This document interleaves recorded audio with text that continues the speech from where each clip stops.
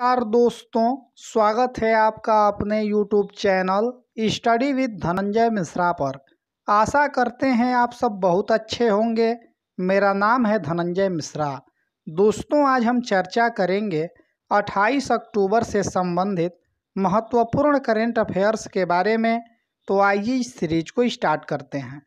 इस सीरीज़ का पहला क्वेश्चन है कि हाल ही में प्रधानमंत्री नरेंद्र मोदी के द्वारा किसान सूर्योदय योजना का शुभारंभ कहाँ पर किया गया है?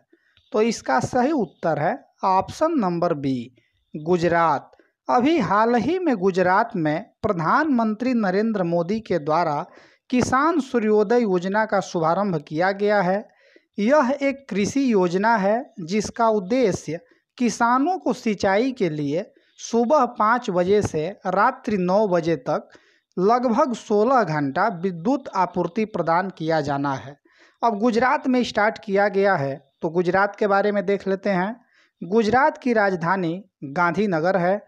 गुजरात के मुख्यमंत्री विजय रूपानी हैं। गुजरात के राज्यपाल आचार्य देवव्रत हैं।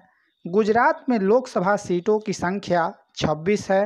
राज्यसभा सीटों की संख्या 11 है। विधानसभा सीटों की संख्या एक सौ बयासी है। और गुजरात में कुल तैंतीस ज़िले हैं।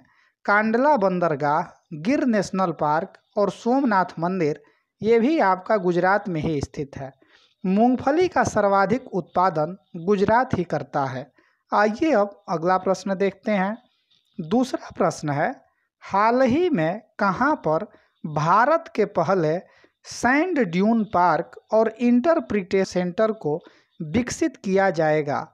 तो इसका सही उत्तर है ऑप्शन नंबर ए, गोवा। अभी हाल ही में यह निर्णय लिया गया है कि गोवा में भारत के पहले सैंड ड्यून पार्क और इंटरप्रिटेशन सेंटर को विकसित किया जाएगा। अब गोवा में किया जाएगा तो गोवा के बारे में देख लेते हैं। गोवा की राजधानी पणजी है। गोवा के मुख्यमंत्री प्रमोद सावंत हैं। गोवा के राज्यपाल भगत सिंह कोशियारी हैं। गोवा में लोकसभा सीटों की संख्या दो है, राज्यसभा सीटों की संख्या एक है, विधानसभा सीटों की संख्या चालीस है और गोवा में कुल दो ज़िले हैं। गोवा मांडवी नदी के तट पर स्थित है और 19 दिसंबर को प्रत्येक वर्ष गोवा मुक्ति दिवस के रूप में मनाया जाता है। आइए अब अगला प्रश्न देखते हैं। तीसरा प्रश्न है, हाल ही में किस देश ने नो मास्क, नो सर्विस लागू किया है? तो इसका सही उत्तर है ऑप्शन नंबर सी, बांग्लादेश। अभी हाल ही में बांग्लादेश ने नो मास्क, नो सर्विस का जो है कि शुभारंभ किया है। इसमें किसी भी व्यक्ति को अगर वह मास्क नहीं पहना है तो उसको किसी भी कार्यालय में प्रवेश नहीं दिया जाएगा और इसको बांग्लादेश ने अभी लागू कर दिया है। बांग्लादेश की राजधानी ढाका है। बांग्लादेश की मुद्रा टका है। और वर्तमान में बांग्लादेश की प्रधानमंत्री शेख हसीना हैं। आइए अब अगला प्रश्न देखते हैं। चौथा प्रश्न है, हाल ही में आईटीबीपी ने अपना उनसठवां स्थापना दिवस कब मनाया है? तो इसका सही उत्तर है ऑप्शन नंबर बी 24 अक्टूबर। अभी हाल ही में 24 अक्टूबर को आईटीबीपी ने अपना उनसठवां स्थापना दिवस मनाया है। अब आईटीबीपी ने मनाया है तो आईटीबीपी के बारे में देख लेते हैं। आईटीबीपी का फुल फॉर्म होता है, Indo Tibetan border police. ITBP का स्थापना 24 अक्टूबर उन्नीस सौ बासठ को हुआ था। आईटीबीपी का हेडक्वार्टर नई दिल्ली में स्थित है और वर्तमान में आईटीबीपी के महानिदेशक सुरजीत सिंह देसवाल हैं। दोस्तों, अगर आप इस वीडियो का पीडीएफ प्राप्त करना चाहते हैं तो डिस्क्रिप्शन में दिए गए टेलीग्राम के लिंक पर क्लिक करके आप टेलीग्राम ग्रुप को ज्वाइन कर सकते हैं या टेलीग्राम पर study with Dhananjay Mishra search करके भी आप इस ग्रुप को ज्वाइन कर सकते हैं। दोस्तों, अगर आप चैनल पर नए हैं तो चैनल को सब्सक्राइब कर लीजिएगा तथा वेल आइकन को अवश्य दबा लीजिएगा। आइए अब अगला प्रश्न देखते हैं। पांचवा प्रश्न है, हाल ही में किसके द्वारा लाइफ इन मिनिएचर परियोजना का शुभारंभ किया गया है। तो इसका सही उत्तर है option number D, Prahlad Singh Patel. अभी हाल ही में केंद्रीय संस्कृति और पर्यटन राज्य मंत्री प्रहलाद सिंह पटेल के द्वारा लाइफ इन मिनिएचर परियोजना का शुभारंभ किया गया है। आइए अब अगला प्रश्न देखते हैं। छठवां प्रश्न है, हाल ही में नाटो ने कहाँ पर एक नया अंतरिक्ष केंद्र स्थापित करने का योजना बनाया है। तो इसका सही उत्तर है ऑप्शन नंबर ए, जर्मनी। अभी हाल ही में नाटो ने जर्मनी में एक नया अंतरिक्ष केंद्र स्थापित करने का योजना बनाया है और यह जर्मनी के राम स्टीन में स्थापित किया जाएगा। नाटो के बारे में अब देख लेते हैं। नाटो का फुल फॉर्म होता है North Atlantic Treaty Organization. NATO का स्थापना 4 अप्रैल उन्नीस सौ उनचास को हुआ था। नाटो का हेडक्वार्टर ब्रुसेल्स, बेल्जियम में स्थित है और वर्तमान में नाटो के हेड स्टुअर्ट पीच हैं और नाटो के सदस्य देशों की संख्या तीस है। आइए अब अगला प्रश्न देखते हैं। सातवां प्रश्न है, हाल ही में भारत मूल के वावेल राम कावलन किस देश के नए राष्ट्रपति बने हैं? तो इसका सही उत्तर है ऑप्शन नंबर ए सेसेल्स अभी हाल ही में भारतीय मूल के वावेल राम कालावन ये जो है कि सेसेल्स के राष्ट्रपति बने हैं। सेसेल्स की राजधानी विक्टोरिया है। सेसेल्स की मुद्रा सेसेल्सी रुपया है। आइए अब अगला प्रश्न देखते हैं। आठवां प्रश्न है, हाल ही में सैमसंग के अध्यक्ष ली कुन ही का निधन हुआ है। सैमसंग किस देश की कंपनी है?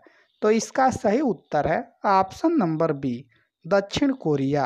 अभी हाल ही में सैमसंग के अध्यक्ष ली कुन ही का निधन हुआ है और सैमसंग जो है कि दक्षिण कोरिया की कंपनी है। दक्षिण कोरिया की राजधानी सियोल है। दक्षिण कोरिया की मुद्रा दक्षिण कोरियाई वान है और वर्तमान में दक्षिण कोरिया के राष्ट्रपति मून जे इन हैं। आइए अब अगला प्रश्न देखते हैं। नौवा प्रश्न है हाल ही में पुर्तगाली ग्रैंड प्रिक्स 2020 का खिताब किसने जीता है? तो इसका सही उत्तर है option number A Lewis Hamilton. अभी हाल ही में लुइस हैमिल्टन ने पुर्तगाली ग्रैंड प्रिक्स 2020 का खिताब जीत लिया है और इस खिताब में जो है कि दूसरा स्थान वाल्टेरी बोटास का है और तीसरे स्थान पर मैक्स वेरेस्टप्पन है। लुइस हैमिल्टन ये कि मर्सडीज के खिलाड़ी हैं और ग्रेट ब्रिटेन के हैं। दूसरे जो है कि नंबर पर वाल्टेरी बोटास है, ये भी मर्सडीज के ड्राइवर हैं और ये फिनलैंड के हैं। और तीसरे नंबर पर मैक्स वेरेस्टप्पन हैं, ये रेड बुल के खिलाड़ी हैं और ये नीदरलैंड के हैं। आइए अब अगला प्रश्न देखते हैं। दसवां प्रश्न है, सतर्कता जागरूकता सप्ताह 2020 कब से कब तक मनाया जाएगा? तो इसका सही उत्तर है ऑप्शन नंबर सी 27 अक्टूबर से दो नवंबर के बीच। अभी हाल ही में घोषणा किया गया है कि सतर्कता जागरूकता सप्ताह 2020 27 अक्टूबर से 2 नवंबर के बीच मनाया जाएगा। केंद्रीय सतर्कता आयुक्त का स्थापना उन्नीस सौ चौंसठ में हुआ था। इसका हेडक्वार्टर नई दिल्ली में स्थित है और वर्तमान में सतर्कता आयुक्त संजय कोठारी हैं। आइए अब कल का प्रश्न देखते हैं, जिसका सही उत्तर बहुत से लोगों ने कमेंट बॉक्स में कमेंट करके बताया है। तो कल का प्रश्न था कि हाल ही में कहाँ पर माइक्रो एटीएम सेवा का शुभारंभ किया गया है? तो इसका सही उत्तर था ऑप्शन नंबर सी मेघालय। अभी हाल ही में मेघालय में माइक्रो एटीएम सेवा का शुभारंभ किया गया है और इस प्रश्न का सही उत्तर देने वालों का नाम इस प्रकार है। रितु ओझा जी, सर्वेश काजी जी, रविकांत जी, संदीप जी, सुशील यादव जी, जितेंद्र कुमार जी। आइए अब आज का प्रश्न देखते हैं, जिसका सही उत्तर आप लोग कमेंट बॉक्स में कमेंट करके बताइएगा। तो आज का प्रश्न है कि हाल ही में आईएमएफ में शामिल होने वाला एक सौ सदस्य देश कौन बना है? तो इसका ऑप्शन दिया गया है और इसका सही उत्तर आप लोग कमेंट बॉक्स में कमेंट करके बताइएगा।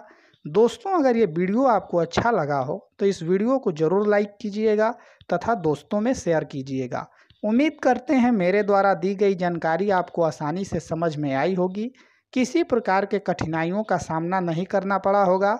ऐसे ही वीडियो प्राप्त करने के लिए इस चैनल को सब्सक्राइब कर लीजिए तथा वेल आइकन को अवश्य दबा लीजिएगा ताकि मेरे द्वारा दी गई जितनी भी महत्वपूर्ण वीडियो की अपडेट होती है वो आप तक सही समय पर और आसानी से पहुँचता रहे। आज के लिए इतना ही। दीजिए इजाज़त। मिलते हैं अगले वीडियो के साथ। तब तक के लिए धन्य